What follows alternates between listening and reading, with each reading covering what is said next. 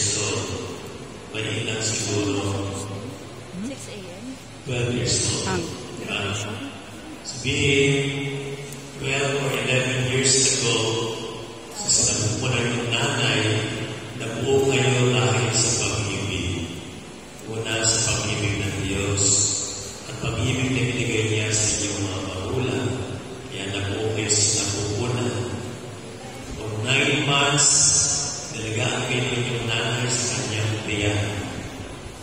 Para kayo ay maging malusog. Nagsakripisyo, buhat-buhat ng tiyan. Kung ipanganak na kayo,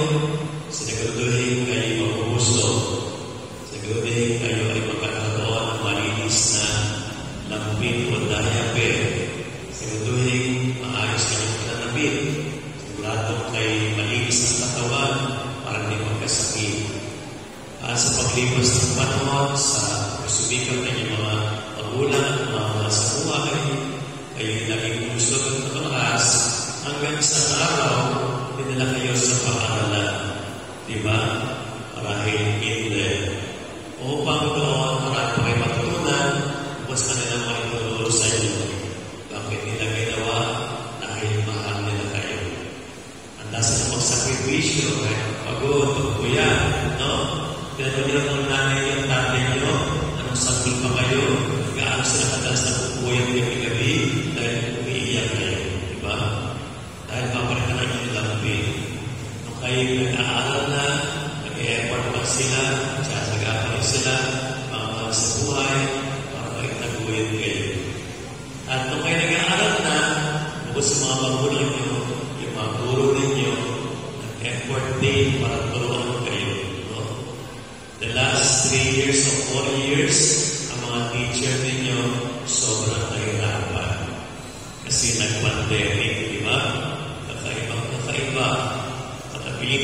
lahat, yung mga may edad na, napilitan matutong mag-computer, no? Yung mga module, hirap sila lahat ang mag-a-adjust.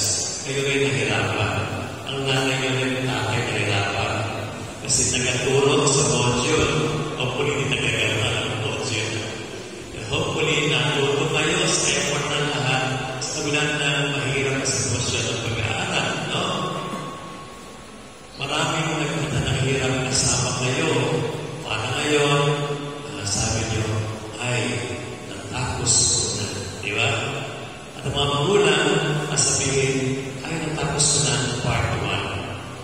Kasi may part 2 pa sa high school, senior high school, at siguro hanggang kolehiyo. Sunod-sunod na pagod, sunod-sunod sa sakripisyo ng mga magulang, mga teacher, mga pamulan ng paaralan, at kayo rin mismo, no?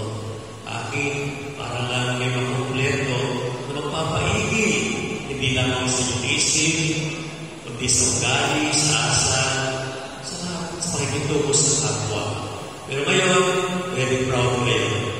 Nanay, tatay, nakatapos na ako ng grade 6. Salamat po, di ba? Yun ang inyong paslasan nila, yung diploma. At ngayon, kung tayo nagtitipon para magpasalamat sa Diyos, ang pinagkulan ng pag-ibig na handang magsakripisyo dahil sa pag- paglingap sa atin. Kaya ang ating inaganap ang isang dakilang pasalamat sa Diyos ang pagdiriwang ng banal na misa. Bakit ito ang ating dakilang pasalamat sa Diyos? Ito po yung aking pakikisa kay Jesus na nagpasalamat sa Diyos naman. Kakaiba po magpasalamat sa Diyos naman na nagsurugo sa Kanya. Sinugo siya para mahalin tayo, ipadala sa atin ang kanyang pag-ibig at pag-ibig ng Ama. Po sa St. Joseph Church, Kanoka po, natis din po po ng bago natis din. Sa loob po ng kanilang sakristi, kung sinig sa likod ng, ng santuario, meron po sila isang malaking cross, yari sa kahoy. Tapos, nakasabi po sa process, si Kristo namatay na. Hindi po katulad ng sa atin dito na nakaitulay na. Dito po, ito po, nakapakos ko sa puso na namatay na talaga na nangihinga. Pero pag pinagpasan po yung mukha niya, no, yung mukha niya, napakatapong ng kanyang mukha at nakangiti, pati yung kanyang labi nakangiti. Sabi ko, bakit kaya ganito ginawa? Ano, pagkasesyo niya nakakibig, ngayong siya'y nagdusa ng hirap sa krus. Ngayong siya'y pinanlihan ng mga taong minahal niya. Bakit sa kanya nakakibig? Anong ibig sabihin nun? At naalaala ko yung sinabi niya sa krus bago sa malagot na ng hininga. Sabi niya sa Diyos Ama, It is finished. Ama, tapos na. Ama, kompleto na. Ama, gagraduate na ako mula sa pagiging tao at muling aangkinin ang aking pagkakas. Nag-graduate na si Jesus doon sa krus. Pero bakit siya nakitigan? Natapos niya na. Natapos niya nang gawin ang lahat ng kalooban ng Diyos Ama ng buong, buong kababaan mo gaya ng isang bata na handang sundin ang magandang atas at aral ng magulang at mga guro. Diba? Kung kayo mga mag-aaral, nagsibikapan ng pahinga, gawain, at sundin ang instruction ng teacher, yung dahilan kung bakit kayo nakapasal na graduate, diba? Kung sinunod niyo yung mga magulang sa mga maayos na sa inyo, napabuti kayo, di ba? O, di ba? Dahil po sa pagsunod ni Jesus, sinunod niya ang atas sa kanya ng Diyos Ama na maging tao, samahan tayo, pagmanasakitan tayo, turuan tayo, aralan tayo, gabayan tayo, mahalin tayo, kahit na siya mag, magsakripisyo doon sa krus. Nagsakripisyo siya para tayo maging anak ng Diyos. Kaya,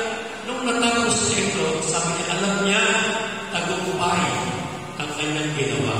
Sa tingin ng tao, ang krus ay walang kabiguan, pero sa kanyang tagumpay ang pag-ibig ng Diyos. Ngayon, alam na ng tao kung paano umibig. Alam na ng ina at ama kung paano magsakripisyo. Alam na niyo mga, mga mga sa buhay kung paano magsakripisyo. Alam na niyo mga guro kung paano magsakripisyo.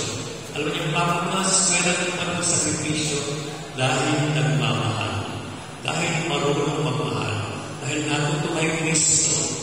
At alam nila kung si Kristo ginawang tayo samahan kay si Diyos para mahalin at turuan, sino tayo para hindi gawin. Kaya si Kristo ay masaya kung siya namatay sa krus.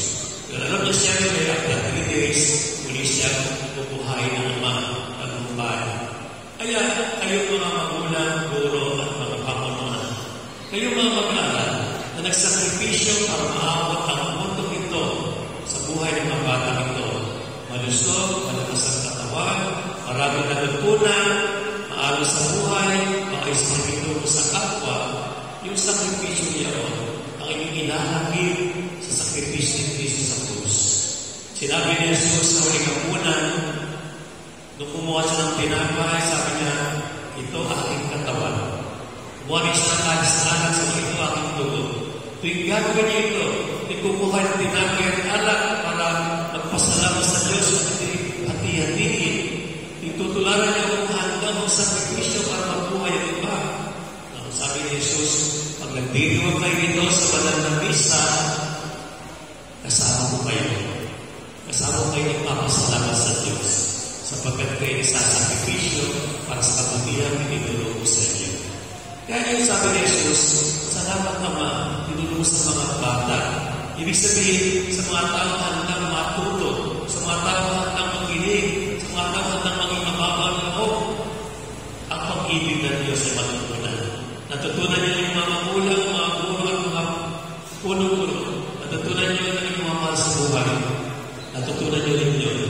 Kaya ginawa niyo, kaya dahil doon sa ating pag-aalay mamaya ng tinapay at alam sa. At sabihin natin kay Lord, Panginoon, itong tinapay at alam niya itong pinagpagulan ito sa misa ng pagpapagod namin lahat pagkasakripisyo dahil natuto kami sa iyong pag-ibig.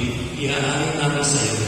Sana sa itong alam na ito, lukuban mo, sabihan mo ng iyong spirito upang hindi lang mo manatiling tinapay, kundi maging katawan mo na aming tatanggapin sa Panginoon. Kaya yung tinapay na sumasagisag sa ating sakripisyo ng pagmamahal ay gagawin ni Jesus na kanyang nakila at banal na katawan para ating magsaluhan. At pag tinanggap natin sa Panginoon, pinalakas ng Espiritu ng Diyos, lahat tayo pinagligpis sa isang sakripisyo ni Kristo, ay palalakasin ng Diyos para sa pagpusan pa sa panibagong hakbang sa buhay, sa panibagong level sa buhay.